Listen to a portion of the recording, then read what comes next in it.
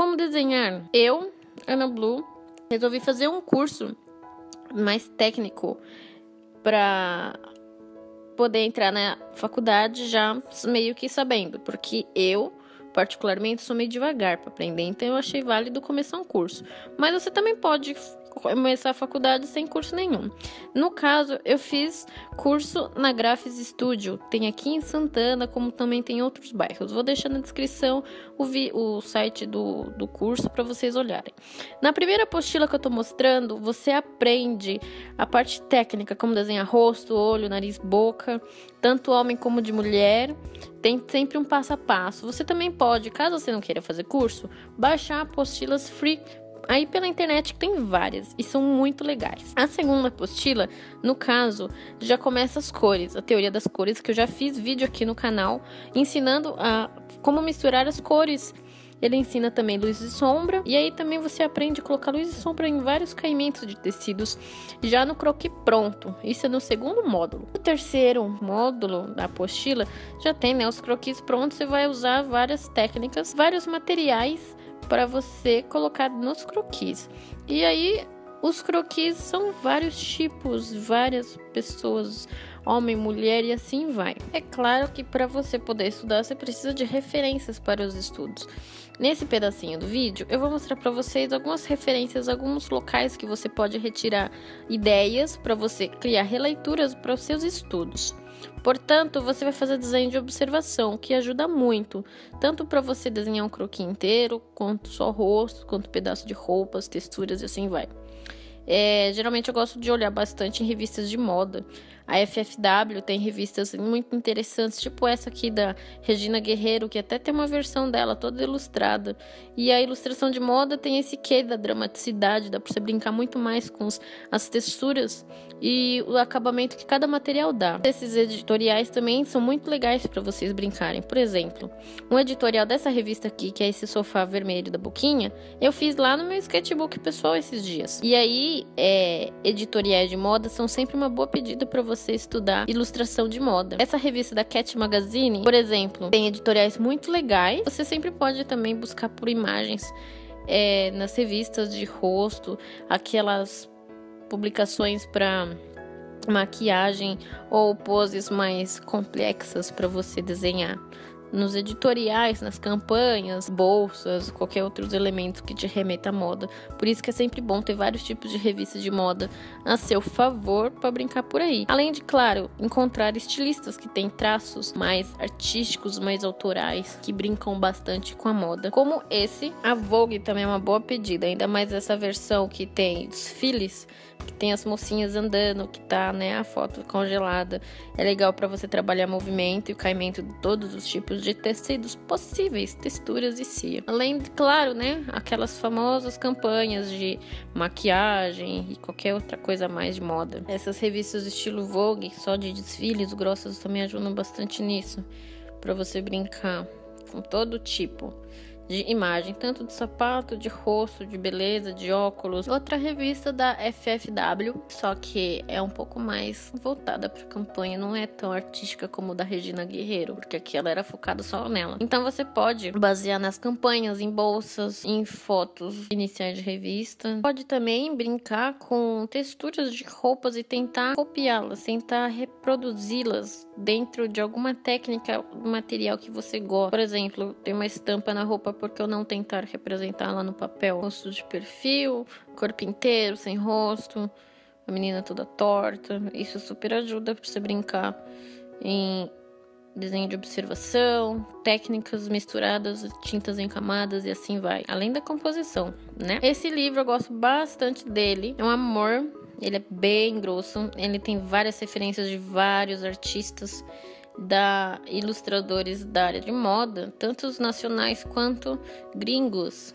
São várias ilustrações incríveis para se basear para os estudos não exatamente para copiar, mas para tentar entender como é que cada técnica funciona, como é que eles usaram a técnica, a composição, cores, texturas, de onde surgiram, de quem são e assim por diante. Eu adoro esse livro. É, eu conheci esse livro quando eu fazia um curso com a Catarina Gushken, que foi onde eu comecei a brincar de encontrar meu estilo, de encontrar minhas materiais favoritos e como que eu poderia usá-los dentro da minha ilustração. Aliás, a minha professora Catarina Gostken também tá nesse livro, sabia? Já já ela aparece por aí. Então, lembra aquele cara que eu falei? que estava na revista Cat Magazine, pois é, ele tá nesse livro também. Se eu não me engano, ele é brasileiro, pra variar, eu esqueci o nome dele. Minha memória é terrível para nomes, eu guardo muito fácil formas, cores e traços. É engraçado, né, como é que a nossa memória funciona. Mas eu vou achar ele aqui, peraí. Aham, achei. O mesmo autor e dono dessa ilustração é o mesmo cara que tá aqui nesse livro. Eu vou colocar aqui na descrição o nome desse autor. Revistas legais também é essa Use Fashion. A Use Fashion eu conseguia na época da faculdade. Eles disponibilizavam pra gente pegar lá na biblioteca e às vezes tinham várias edições que a gente também podia levar para casa. Então, vocês estão vendo aí que a minha revista tá toda recortada. Eu tinha, eu sempre pegava duas de cada, porque uma eu podia recortar e a outra eu deixava inteira para poder fazer os meus estudos de croquis. Tem criança, tem mulher, tem homem, tem menininhos, tem objetos, tem vários de todo tipo de imagem possível e são ótimos para isso. Eu tenho que ficar mais vezes também estudando croquis, mas não é sempre que eu faço isso. Pois é, Ana Blue, você tem que fazer isso mais vezes, viu? Além de rostos famosos que você pode desenhar também, é uma boa pedida. Essa Use Fashion também é de rosto, é mais para acessórios, então, né? Rosto vai aparecer bastante, mão, vai ter também joias, então, para quem gosta de desenhar joias, acessórios, é uma boa pedida para você treinar luz e sombra. É, e assim outros detalhes mais. Porque tem algumas faculdades que focam muito para só acessório ou foca só em bolsa, às vezes foca num geral um superficial, porque faculdade de moda nunca vai ser 100% de tudo, vai ser sempre uma base bem supérflua de tudo. Então, se você realmente gostou de tal coisa na faculdade, corra atrás, se enfia, busque maneiras, se questione, vá atrás, encontre jeitos e treine todo dia.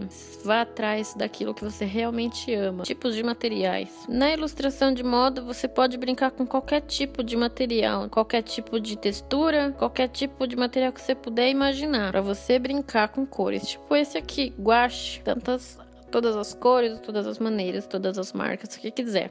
Eu recomendo a TGA para início de conversa. Quando eu fiz meu curso, eu comecei com a TGA.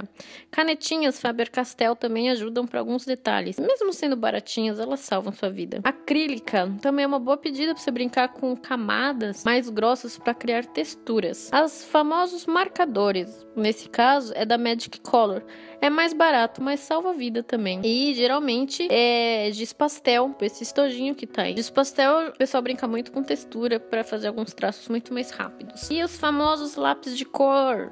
Tanto faz se for lápis de cor tradicional, né, o comum, normal, ou lápis de cor aquarelável.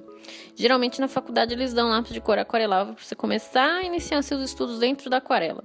Eu, particularmente, não sou muito fã porque não sinto tanta emoção quanto com a aquarela de pastilha. Para quem deve estar tá se perguntando, eu já fiz resenha sobre vários tipos de aquarela tanto de pastilha quanto de bisnaga. Se qual que é melhor para começar com o material de bisnaga, de pastilha ou a líquida, é só clicar por aqui pelo vídeo que você vai encontrar, beleza? Nesse caso são as de bisnaga que eu fui, eu estou comprando aos poucos nas tintas que me acabam, né? fazer o que, né? E esse é o estojinho profissional da Lucas. Como eu trabalho e vendo meus trabalhos, eu tenho um profissional da Lucas. Se você tá começando agora, um kit iniciante serve. Tem vídeo sobre aquarela para iniciantes, viu? Com dicas de pincéis, aquarelas e cia. Você também pode comprar um godê, tipo esse eu comprei na Daiso. Ele ajuda para espalhar as cores e você conseguir se organizar melhor na hora de criar suas cores, misturar e dissolver com água. O papel também é uma dica importante. Geralmente a gente usa papel com bastante textura, tanto casca de ovo quanto verde e outros tipos que tem pelo mercado e nas papelarias, esse é de linho também, é uma boa pedida. Geralmente 180 salva também nossa vida. E para croquis, geralmente a gente usa mais tipo lápis de cor, giz pastel, aquarela e assim vai. Eu lembro que na época da faculdade a professora deu bem básico cada técnica e a gente tinha que ir atrás e testar aquela que a gente gostasse mais. E a gente sempre vivia com papel diferente, de textura diferente, para a gente sentir qual tipo que a gente gosta. Eu não mostrei grafite carvão é porque eu não tenho mais carvão e grafite. porque eu não costumo mais usar nos meus trabalhos. Eu sou muito colorida, então não temos. Agora é o setor dos meus estudos pessoais.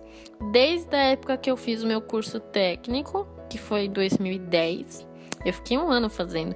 E eu entrei na faculdade em 2011, terminei a faculdade em 2015 e até hoje, em 2016, eu vivo pintando. Eu não consigo parar mais, é um vício para mim. E é onde é, eu me acalmo, porque eu sou muito ansiosa.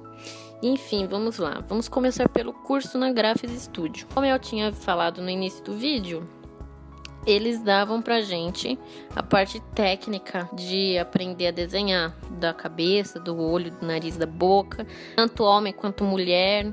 Então o traço e o desenho tá bem durinho. E a questão do, da identidade de traço vai aparecer bem mais pra frente, não vai ser logo no desenho técnico quando a gente tá aprendendo a desenhar. E aí é questão de treino mesmo. No próprio vídeo vocês vão ver com o tempo eu fui mudando bastante o traço de desenhar. Tem que treinar sempre, não pode parar, porque ele não vai vir de milagre. No curso você aprende a desenhar corpinhos de mulher e de homem. Tem um jeito meio certo de desenhar que são pelas cabeças.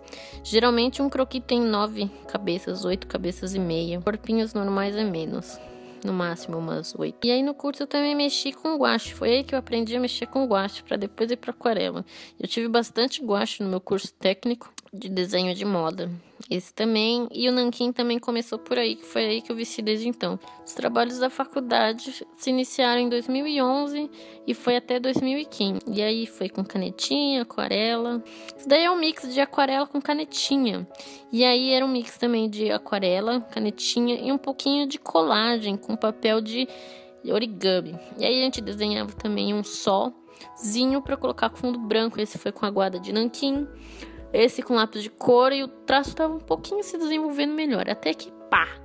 Apareceu esse mulherão e tava começando a soltar. E esse, que é no 50 fofinho, eu fiz no papel casca de ovo e brinquei muito com giz pastel. Eu, particularmente, não gosto muito de giz pastel porque eu não me identifico muito dentro da minha poética, né? E aí, também, com o tempo, a professora passava sapato, bolsas, a gente fazia em papel vegetal com a técnica frotagem. Tinha também desenhar rostos coloridos e novamente o papel vegetal com a técnica frotar. E aí, mais pra frente, a gente aprendeu a fazer croquis de homem, que eu particularmente não gosto. Geralmente, meus homens têm cara de criança ou cara de velho demais. Finalzinho de 2015 até 2016, que é como eu ando desenhando. Esse é meu sketchbook mais recente. Eu gosto de estudar muito a parte da moda antiga, principalmente a senhora Maria Antonieta, que eu adoro ela. Rostos, e se eu tô sempre desenhando, eu tô sempre indo atrás daquilo que me inspira. Eu já fiz um post no blog sobre processo criativo, busca da poética, busca de como você chegar no seu estilo de traço, toda essa pesquisa que eu acabei fazendo pro meu TCC. Eu ainda continuo sempre fazendo nos artísticos para desenhar, porque né, a gente tem que soltar mais o traço para poder soltar e conseguir fazer uns croquis um pouquinho mais soltinho. Desenhei também a minha amada Lua Morales, que estava toda produzida para foto dela, que eu gosto muito de fotos bem produzidas. Aí entra no editorial de moda que eu recomendo para vocês sempre buscarem para poder produzir seus desenhos. Eu gosto de trabalhar muito composição direto no desenho. Foi daí que apareceu minha, minha ilustração na Cat Magazine. E como eu também gosto, é, referências antigas, eu gosto de pintar Maria Antonietas e princesas que estão em quadro de óleo e assim vai. E esse é o meu estudo mais recente de ilustração de moda daquela referência da revista da Regina Guerreiro que eu mostrei do sofazinho da boquinha vermelha. Para vocês perceberem que, né, que de desenho é com tempo e com treino, eu peguei algumas ilustrações de alguém que treina mais tempo que eu. Minha mãe. Minha mãe, ela estudou artes plásticas, mas ela trabalhou com estamparia, então ela também vivia desenhando croquis. E tudo é pintado com guache na parte das estampas. Parece marcador, mas não, é que ela diluiu bem. E dá pra ver um certo estilo de traço, mesmo que tenham alguns personagens que estão meio com uma proporção meio erradinha, mas né, dá pra ver que com experiência e treino o traço vai mudando com o tempo, tanto homem quanto mulher. Eu selecionei também esse artistas por aí que é a quinta categoria do nosso vídeo. Porque eu sempre recomendo para vocês irem atrás de artistas de que fazem ilustração de moda para vocês verem, como eu havia dito antes, sobre as técnicas, como é que eles executam, como que eles trabalham com aquarela, com nanquim, com lápis de cor, com a composição e assim vai. Tem uma ilustradora que eu adoro, sou apaixonada pelo trabalho dela nesse livro, que ela chama Kate Rogers. Se você for por aí nas redes sociais, você vai encontrar ela como Paper Fashion. Lembra também que eu comentei que a minha professora do curso de ilustração estava nesse livro? Pois é. Esse é o trabalho dela, da minha amada musa Catarina Gushiken. Ela também trabalha no ramo de moda, e tem seus trabalhos maravilhosos por aí. Kate Rogers, que apareceu agora no livro, ela trabalha tanto com aquarela, lápis e uma coisa que eu sou louca pelo trabalho dela, que ela usa e mistura vários tipos de tintas para causar vários efeitos de textura. Ela usa muito acrílica e ela vive com dourado daquela marca Golden maravilhosa. Ela tem nas suas redes sociais mostra todo o processo. Eu piro no Snapchat dela. É a coisa mais maravilhosa que tem. E ela tem um godê maravilhoso de sujo. Eu adoro coisas assim coloridas e sujas. Não mais de tinta, né? Ela mistura muito acrílica com aquarela, com guache. E como ela tem, né, muitos anos de experiência, poética tal, ela já desenha o croquis direto no pincel com a tinta, que é maravilhoso. Espero que vocês tenham gostado muito desse vídeo, que tenha sido útil para vocês, já que eu não vejo nenhum vídeo desse tipo aqui pelo YouTube, que me deixa frustrada. Como você vai conseguir fazer as testar as suas temáticas de moda sem nada para indicar, não é mesmo? Obrigada por assistir, se inscreva no canal, lembre de curtir e compartilhar para as amigas, para os amigos. Obrigada. Tchau.